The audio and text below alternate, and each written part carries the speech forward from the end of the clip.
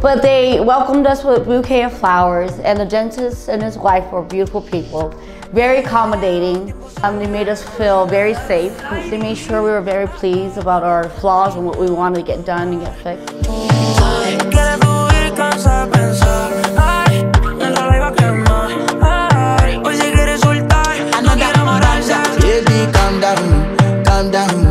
Yo, this your body, it puts in my heart for lockdown, for lockdown.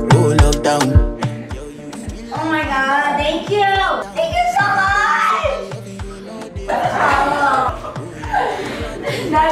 I wanted a prettier smile, and here I am. Overall, it's a great experience. We got to even, you know, explore Cali, and I would highly recommend it.